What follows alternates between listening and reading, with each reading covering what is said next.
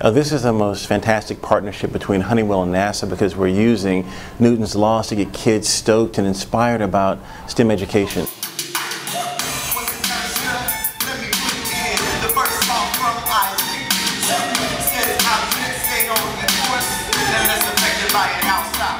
One of the things that we're doing is showing the assets of the International Space Station and astronauts along with the show that goes out and, and, just gets kids jazzed up. So it's so important that industry and government work together to help feed that pipeline of students to be the next generation of explorers. You know, focusing science and math um, and the different skills in a different genre venue um, than just sitting in a classroom or doing lab work gets a lot more kids involved.